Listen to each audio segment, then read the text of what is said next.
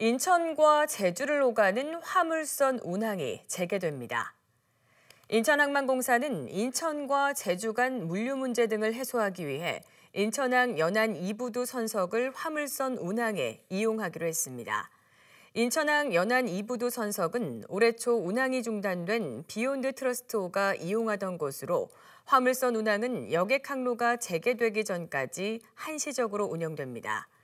부두선석 사용을 희망하는 선사는 오는 13일까지 항만시설 사용 신청서 등 필요한 서류를 공문으로 제출해야 합니다.